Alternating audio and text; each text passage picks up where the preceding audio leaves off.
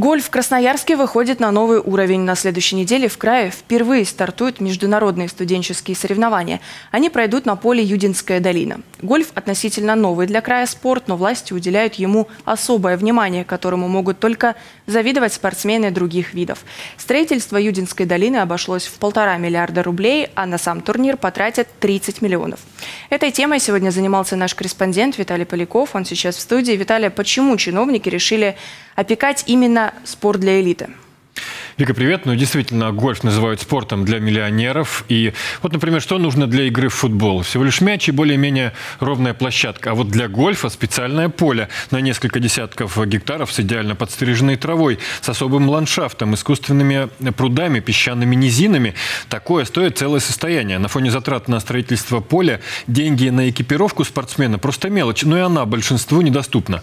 Вот объявление на Авито. Набор клюшек в Красноярске продают за 40 тысяч рублей. Но власти всячески поддерживают развитие гольфа, причем нередко за бюджетный счет. Это поля, поле для гольфа Сибирского федерального университета. Студенты здесь играют с мая по июнь и с сентября по октябрь. Четыре месяца в году. Но его обслуживают постоянно, стригут траву, убирают нападавшие шишки, поливают и прочее. То есть это, очевидно, не дешевая забава для СФУ. Напомню, стоимость платного обучения на первом курсе для студентов минимум 176 тысяч рублей. Наверное, университету можно было и поумерить аппетиты, но нужно содержать гольф-поле. Уже несколько дней мы ждем ответов от СФУ, почему они развивают именно гольф, сколько это стоит для университета, который существует за бюджетный счет. Но пока СФУ хранит молчание. Причем а, к самому гольфу, как виду спорта, вопросов вообще нет.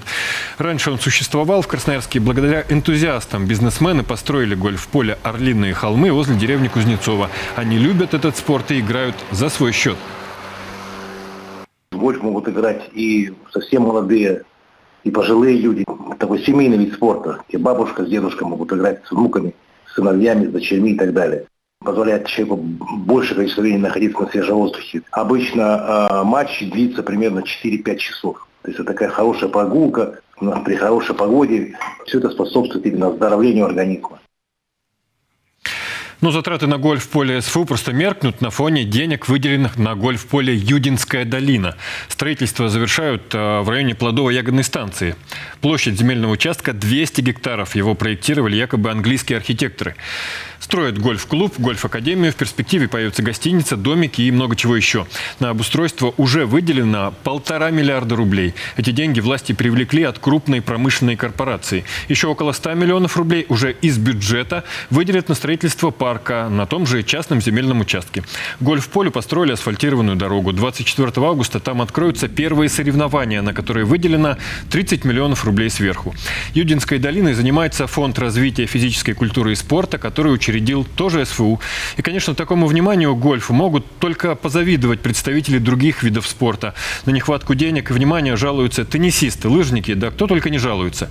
Вечная нехватка инвентаря. Дети и родители почти все покупают за свой счет. Вот есть такой спорт пауэрлифтинг. Это там спортсмены поднимают тяжести. И вот за работу детского тренера чемпионка России Тамара э, Никашнова получала крохи 10 тысяч рублей в месяц.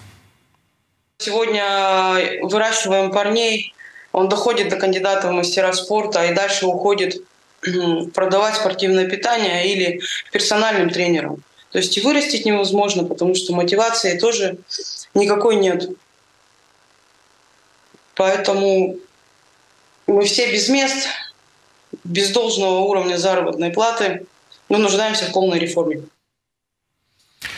Так почему все-таки власти решили вот так опекать гольф в Красноярском крае? Ну и ответ оказывается прост. Несколько лет назад этим видом спорта увлекся экс-губернатор Александр Ус.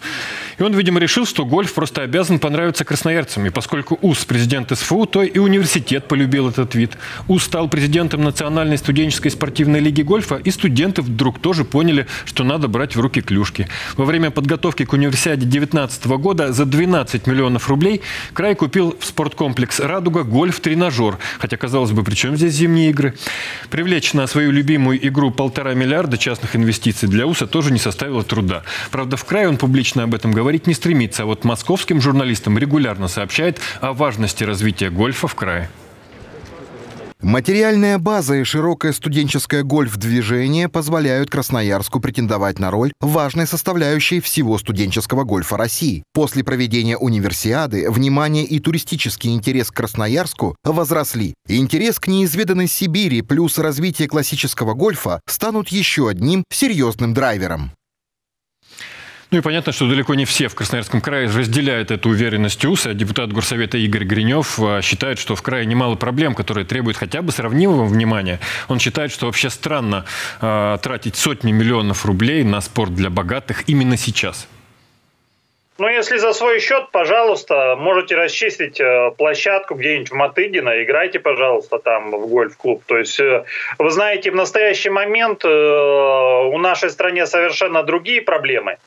Это и ипотека у мобилизованных, и другие вопросы, связанные со снабжением нашей, наших мобилизованных из Красноярского края. Власти зачастую говорят или намекают, что на решение той или иной проблемы просто нет денег. Примеров много. Край не выделяет средств на строительство приютов для бездомных животных, не хватает на жилье сиротам, э, на ремонт дорог, на нормальное школьное питание, на деревенские дома культуры и тому подобное. Зато на любимую игру деньги сразу находятся, причем не только в бюджете. Власти проявляют завидную эффективность, привлекают деньги частных корпораций. Все ради заветной цели. Так что не верьте, когда говорят, что чиновники у нас в крае плохо работают, когда они захотят, когда нужно, они горы свернут, а на их месте устроят изумрудные поля с лунками. Вика, на этом у меня все.